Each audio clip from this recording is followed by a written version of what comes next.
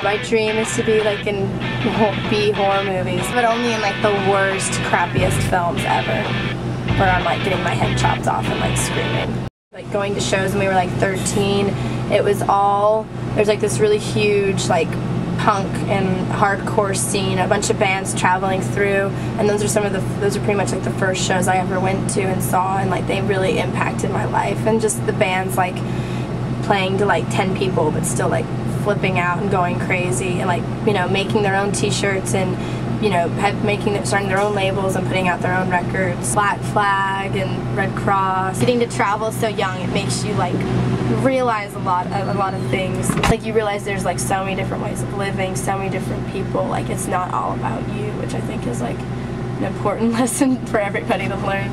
It's hard sometimes to to take care of yourself and take care of your like your like body and everything especially for me because I like throw myself around every night. If I wasn't in a band I think I'd probably I don't know getting into a lot more trouble. It's very it helps me a lot to have this band and get to kind of like work through my like emotions and like anger and stuff like on stage. It's part of my personality and also like things that I went through when I was a kid. So just you know everyone's got frustration and anger so I think having like music in your life can really help you deal with it.